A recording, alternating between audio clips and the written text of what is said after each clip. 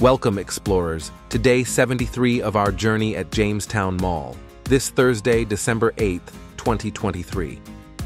As we approach the site on this cool day with a light overcast, the ambiance is calm and slightly dim. If you're finding our daily updates insightful, don't forget to like and sub. Scribe for more consistent coverage of the mall's transformation. As we make our usual flyover around the mall, today's scene suggests a quieter day, it appears there hasn't been much activity since yesterday. Perhaps the crew has taken the day off.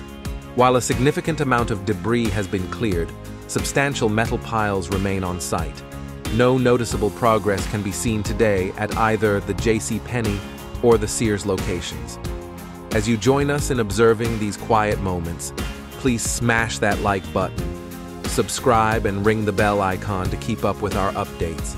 We encourage you to engage in the comments below and share this video with anyone interested in urban exploration and transformation.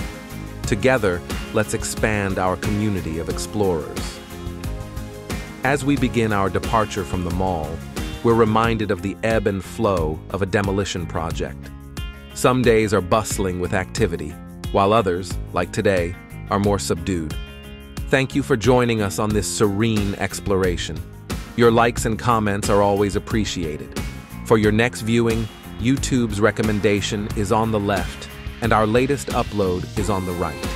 Stay tuned for more from the Jamestown Mall, and as always, keep exploring.